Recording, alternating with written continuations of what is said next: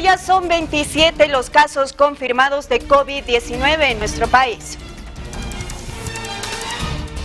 De los dos casos de Santa Cruz se trata de dos mujeres. La primera llegó desde Madrid.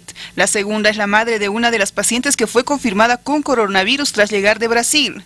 Las dos ya han sido puestas en aislamiento y están siendo atendidas. Desde el día 14 ha comenzado sus síntomas. Eh, este es un caso importado.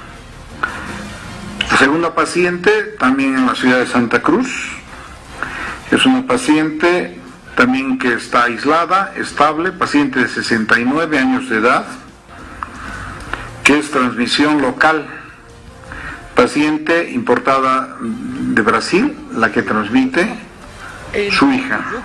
El tercer caso positivo se dio en Cochabamba y se trata de un varón que fue contagiado por uno de los pacientes que llegó desde España. Es un paciente de 61 años de edad que tiene una bronquitis crónica y también es transmisión local de un contacto de un paciente importado de España. Según el Ministerio de Salud,